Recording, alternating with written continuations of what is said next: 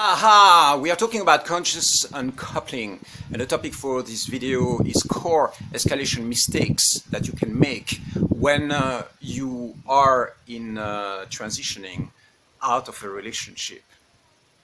So, the reason why this is very important is because in the process of uncoupling, in the process of breaking up, you can decide if you are going to do that peacefully or if it's going to be a freaking war.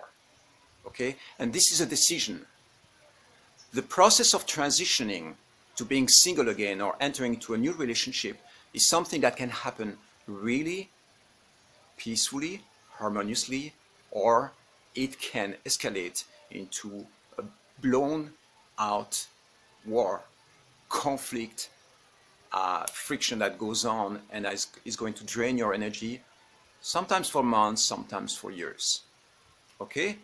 Entering into a divorce battle that drags the leftovers of your relationship for years might not be a good idea.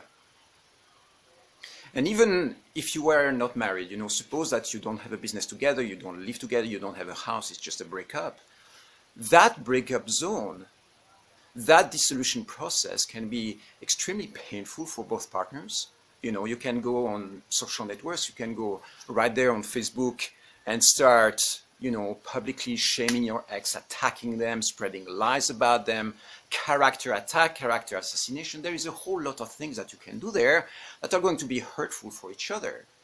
And if you attack your partner and then your partner fights back, then here we go, you have an ongoing battle. You will have parties, people are going to join that side, other people are going to join that side, and then by the end of this battle, nobody will win. Because the truth is that nobody's guilty. You co-created a relationship, you co-created a dissolution. Both parties are guilty of something, and pointing out and blaming each other and finger pointing and attacking and entering into this bashing campaign or public shaming campaign online, for instance, might be an escalation that you don't want to uh, to engage into. And so, again, we are talking about conscious uncoupling. Conscious means being aware of what you're doing. If this is still something you want to do, you're free to do so. I simply tell you that it's a very tricky territory and that if you start attacking each other, especially if you are both, if you both have lots of firing power and lots of understanding and lots of, lots of energy, you might um, break each other in the process and kind of create an annihilation process that is, that is pretty intense.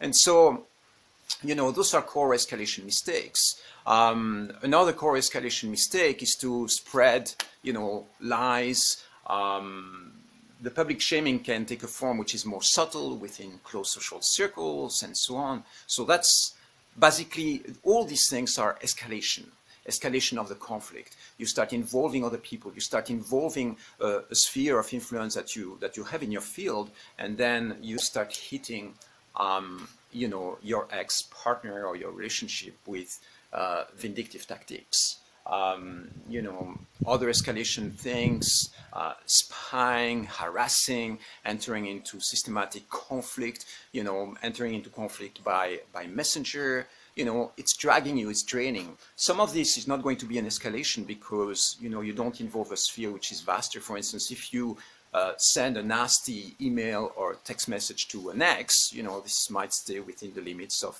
of what you share. So it's one-on-one. -on -one. Escalation means, you know, for instance, you take somebody to court or you go into the, the, the, the higher level of, um, of conflicting energies. And this is, can you know, can potentially really, really hurt you as an individual and hurt your partner. And uh, my guess is that it's not really what you want. You want to, as much as possible, uh, find harmonious transition uh, things. And if there is an emotion that you are feeling inside, you know, like you feel frustrated or angry, using that anger as a retaliation source to attack your ex, um, you know, that's it. You go that way, it's going to be a war it's going to be an ongoing conflict unless the conflict dissolves pretty fast. But um, you want, as much as possible, contain whatever conflict is going in there. And if you want to engage into what I call a vital fight, you know, come face to face and be like, blast each other with whatever resentment and whatever anger you have towards each other, um, that's something that you can do. It's possible. And there are ways to do that in a, in a conscious way. But basically, you know, escalation if you go there, if you start going on social networks, you start going into court, you start involving a bigger sphere, then that's probably going to hurt you both, and uh, you might have to pay the price for that. Yeah. That's it for now.